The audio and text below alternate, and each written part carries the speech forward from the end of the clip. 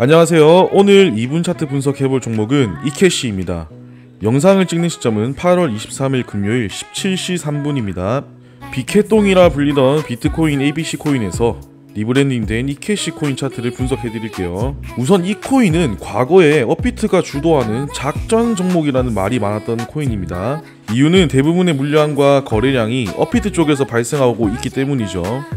따라서 시세를 준다면 엄청난 수익을 챙길 수 있지 않을까 생각이 되고 차트도 나쁘지 않은 위치에서 현재 놀고 있기 때문에 여러분들께 공유해드리려고 합니다. 로그 차트로 보면 주봉상 이렇게 장기 상승 추세가 만들어졌습니다. 현재 캔들과 이 추세선의 간격이 그렇게 크지 않기 때문에 아직까지 물량을 모으고 있는 것으로 보여지고 위에서 내려오는 하락 추세선을 하나 더 추가해보면 삼각 수렴이 진행되고 있는 게 보이죠. 보통 삼각 수렴은 힘을 모을 때 많이 나옵니다. 따라서 수렴 하단에서 놀고 있기 때문에 가격대도 나쁘지 않다는 거죠. 지금부터 아래 장기 상승 추세선까지 분할로 진입해도 나쁘지 않아 보이지만 조금 더 보수적으로 접근을 해보자면 날봉 차트로 와서 피보나치 되돌림 도구를 사용해서 진입 타점을 찾아볼 수 있습니다. 0.382 구간과 0.236 구간이 진입 타점 혹은 추가 매수 자리로 봐도 나쁘진 않아 보여요. 여기 아래에 있는 장기 상승 추세선을 이탈하지 않는다면 이 박스권 구간까지 1차 목표가로 잡아볼 수 있을 것 같습니다. 왜냐하면 이전에 지지와 저항을 받았던 구간이기 때문에 단기 목표가로 잡기 충분할 것 같습니다. 장기적으로 목표가를 잡아보자면 이전 최고점을 뚫어줄 경우 위로는 매물대가 없어 한도가 없이 열려있지만 대략 유추해볼 수 있는 건 삼각 수렴 첫 파동 크기만큼 상방으로 이탈된 시점에서 똑같은 비율로 올라갈 수 있는 확률이 높습니다. 그렇다면 1원은 가뿐히 넘어가는 가격이 나오겠네요. 정말 인생을 바꿔줄 수 있는 코인이 될 수도 있을 것 같습니다.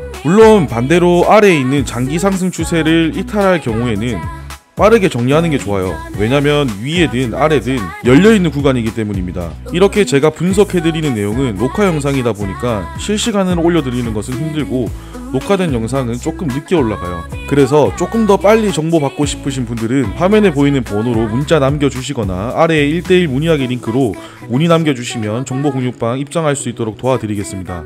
오늘은 업비트 작전 종목으로 의심되는 이캐시 코인 차트 분석을 해봤습니다. 도움이 되셨다면 구독, 좋아요, 알림 설정 해주시고 다음 2분 차트 분석 영상에서 또 좋은 종목 찾아서 오도록 하겠습니다.